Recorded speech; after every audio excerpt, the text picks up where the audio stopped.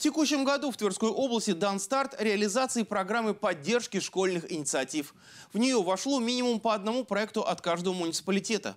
Всего планируется реализовать 57 проектов. Вопрос рассмотрели на заседании правительства Тверской области. Подробности у Натальи Чекет.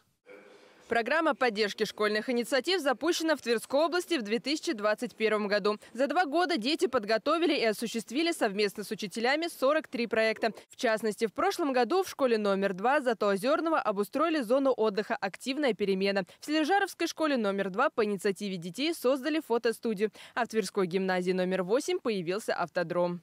Важно, что эти инициативы зародились в Тверской области. Этот проект это был Вышневолодский район. У нас было первых три проекта, они были совершенно небольшие.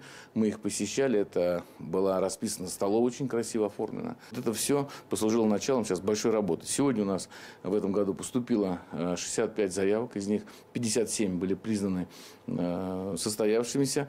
В программе участвуют школьники с 8 по 11 классы. Ребята выступают с инициативой, чтобы они хотели изменить или улучшить в учебном заведении. Затем они готовят проект и выносят его на школьное голосование. Победивший проект направляется в областное правительство для дальнейших конкурсных процедур. В этом году при поддержке региональных властей учащиеся планируют обустроить в школах пространство для творчества и обучения отдыха и спорта. Так, в школе номер 24 Твери заявлено создание мобильного тира, где ребята смогут закрепить знания по оказанию первой до врачебной помощи, подготовиться к сдаче ГТО и строевой подготовки. А в Ромешковской школе планируют создать кабинет кулинарии. Наши ребятишки сегодня являются активными участниками проекта по школьным инициативам.